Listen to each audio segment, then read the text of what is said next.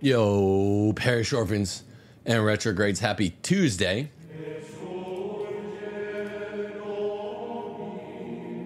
It is May the 14th, the day after Fatima Day. I thought I would do a little Fatima show yesterday, and I thought wrong. But man, we've had 100 plus years since Our Lady appeared at Fatima, Portugal to Three Seers. And it's been more than 100 years because it was 2017 that represented the 100 year mark. That means it's 107 years. At which point we were told, we faithful Roman Catholics who are doing our best, that there would be one final attack, one final attack on the world by Satan, and that this final attack would take the form of the devil against the family. And short sighted nitwits and midwits assumed that this final attack meant ontological gender dysphoria. You know what you know what that is. The stuff that began in 2014, 2015, Bruce Jenner. That's not the final attack. The final attack on the world in God's timeline whereupon moments are more like decades. Attacks take place more over the course of a century or a century and a half. This final attack is was ongoing in 1917. It is the attack on the family that is functional gender dysphoria, making and vice versa, mothers and wives to act like husbands and fathers. Now, yesterday, in accord with it, and of course, Steph is here to help Hello, me break this down. everybody. Hello, Miss Lady. Hello, people. So, yesterday, what went public and went gigaviral almost immediately thereafter was friend of the show, Mr. Harrison Butker, arguably the greatest place kicker in the history of the National Football League. He's a three time Super Bowl champion with the Kansas City Chiefs. He's also a trad Catholic. I've been friends with him behind the scenes for five years. And he gave this commencement speech at Benedictine College that we're going to play for you in a second, where he said, he insinuated a lot and he said quite a bit. But he said that basically the girls who are graduating had been told this Luciferian lie that Sister Lucy referred to after Fatima 107 years ago.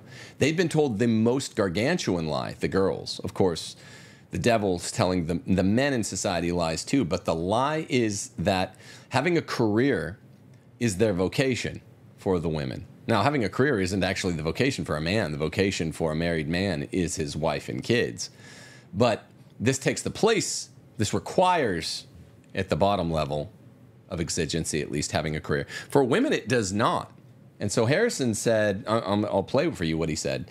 Basically, you're going to want to stay home. And Steph, all the world, Washington Post just published a new article on it about 15 minutes ago. They're all taking a crack at him on the NFL Reddit. They are calling for blood, violence against Harrison. I spoke with him this morning. I'll, I'll tell you a little bit about that, but he's just a good man with a lot of integrity. Harrison was surprised that at this middle, early middle stage in his career, he's talked a lot about being a faithful Roman Catholic, a trad Catholic. And this goes along with it, but he got basically no pushback on that. He's a very good man in real life.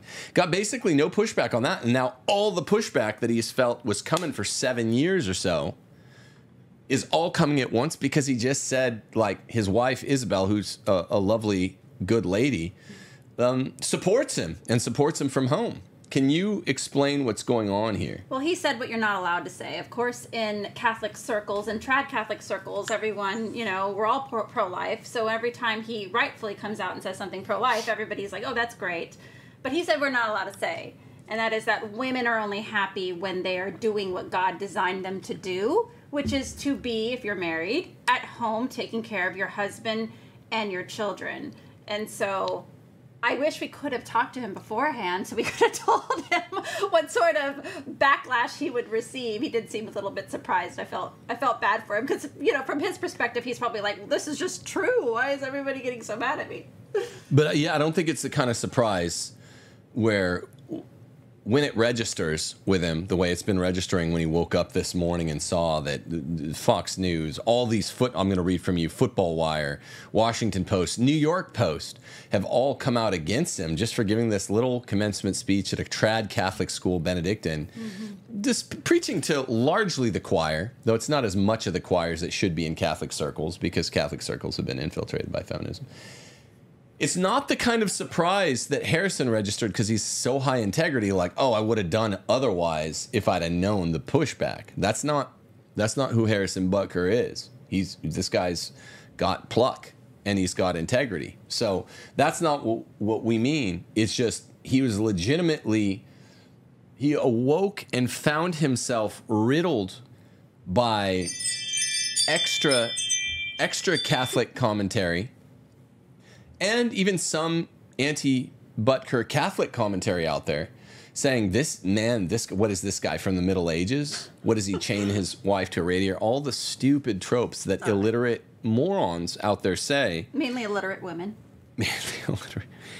And um, i don't know can you can you just before i'm going to play the clip i'm going to get right into it. Can you just say a brief word on why we're not surprised, Steph, that like, yeah, you can talk about the Latin Mass all you want. But the second you say that male behaviors and female behaviors should not really be fungible, you're pissing off even trad Catholics. We've we've we've mm-hmm. gone to right. bat with even trad Catholics when we say, look, men should do men things, women should do women things. The woman's forum is the home. Well, conservatives don't actually believe men and women are different right? right. They always right. have the caveat. Well, they're different insofar as our biology. They'll go they'll, they'll go that far, but when it comes to our specific roles and what we're designed to do, now that's when most conservatives and trads will say, no, no, no, no. We can even some trads, if you will, on where they're going to actually toe the line on what a woman actually is and what she's designed to be. They will say, you know she can do just some things that man that a man can do. Now where that line is uh, in regards to the left or the right it's far left over or it's far right. A woman can work a woman can you know build a barn a woman wear the pants in the family. Yeah and, and vice versa. And mm-hmm. well men should be helping their wives you know do the dishes change diapers. Remember diapergate of oh. i think may of 2023 started by our, our new friend megha I retweeted her and I support it. She was like, "Look, my husband. You're never going to catch my husband doing a diaper." It's they so said, easy. These jobs are so easy. These women are freaking out over the diapers. It's like an ape can do these jobs can change a diaper and to clean a house at the same time. I don't need you to do any of that stuff for me unless I am incapacitated because I had just given birth or was hit by a bus right. or something of that nature. Right. It's just not that hard, which is why, by the way, I have a lot of free time. right, so right. ridiculous. Well, even trads were mad that I supported Megha on Twitter during Diapergate a, over a year ago. And I think it was Eric Sammons was like, look, there's not a categorical behavioral difference between men and women. I was like, wow, that that's dysphoria. There is a categorical uh, behavioral set of uh, disparities between men and women. It, the capacity to for a man to do the dishes or do the diapers, the fact that I have the capacity to do that does not prove that this is a natural virtue for a man to actually mm-hmm. engage in them any more than the capacity for me to throw on that that beautiful white dress that looks so good on you, which would maybe I start thinking it would look good on me. I'd be wrong, but that's a behavior. And so trads like trads and conservatives are so crossed up on what constitutes gender dysphoria. Is it ontologically thinking a man can be a woman or vice versa? No, they'll say, you know, some behaviors should never be engaged in. Like a man should never wear a dress. That's a behavior. And they're like, okay, yeah, so there are male and female behaviors, and we, we ought to be hermetically sealed as between categories. They go, no, no, no. And you know why? Because they're speaking autobiographically, and it makes them insecure. And um, here's the interesting part. Har- let, us play Harrison, Let's. but he wasn't even he wasn't even going on the attack. He was saying, "Here's what I've done in my life." He attacked Biden. He attacked abortion. He attacked um, uh, Skittles Pride Month, which is dope, dope, dope. But but conservatives won't get mad at any of that. But then he started saying, "I'm so," and he was getting legitimately touched, broken up.